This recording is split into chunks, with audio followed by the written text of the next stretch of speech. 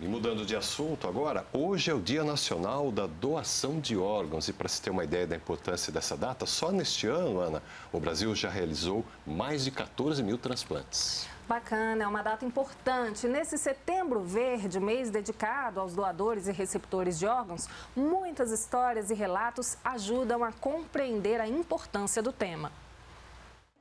Esse motorista baiano de 56 anos ficou em coma por 17 dias antes de descobrir uma insuficiência severa dos rins. Depois foram nove anos de sua vida fazendo hemodiálise, três vezes por semana durante quatro horas. A máquina era sua única condição de sobrevivência, mas há cinco meses ele recebeu o que considera o maior presente: um rim. Minha qualidade de vida mudou demais, tá doido? Fiquei satisfeito, alegre. Quando o médico eles daqui de Brasília para mim lá para Bahia, derramei a lágrima, né? Eu disse, não, nem estou acreditando nisso. eu era doido fazer transplantado, né? Eu pensava muito isso. Não, tenho que ser transplantado. Confio em Deus e dessa vez agora vai dar tudo certo. Já deu certo, né? Assim como o Celso, mais de 14 mil pessoas receberam este ano um órgão doado.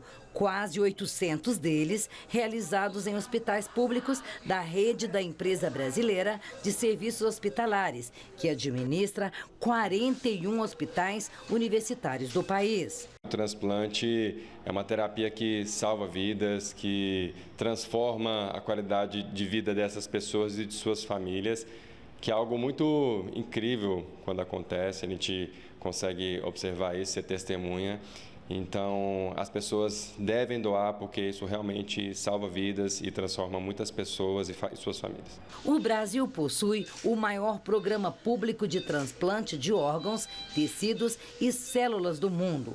Ele é garantido a toda a população por meio do SUS, responsável pelo financiamento de cerca de 88% dos transplantes no país. Para realizar um transplante, o médico autorizado irá providenciar a inscrição do paciente no site do Sistema Nacional de Transplantes. O receptor será posicionado na lista de espera de acordo com a ordem de inscrição, gravidade e urgência da situação e compatibilidade com doador existente. Esse sistema é comandado pelo Ministério da Saúde e é responsável pela regulamentação, controle e monitoramento do processo de doação e transplantes realizados no país. E é ele que desenvolve o processo de doação, captação e distribuição de órgãos, tecidos e células-tronco para fins terapêuticos.